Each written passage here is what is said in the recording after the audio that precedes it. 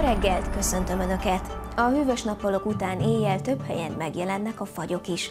Szerdára viradó éjszaka fokozatosan levonul hazánk fölül a fátyol és középmagas felhőzet, így jobbára derült időre készülhetünk.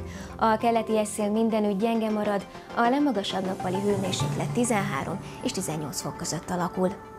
Mozgalmas időjárás vár ránk a héten, a melegedéssel együtt nedvesebb léghullámok is érkeznek, így csütörtöktől minden nap számíthatunk esőre, záporra, pénteken és szombaton akár zivatarok is lehetnek. A hét utolsó napjától ismételten lehűlés várható. Ezzel köszönöm figyelmüket, a viszontlátásra!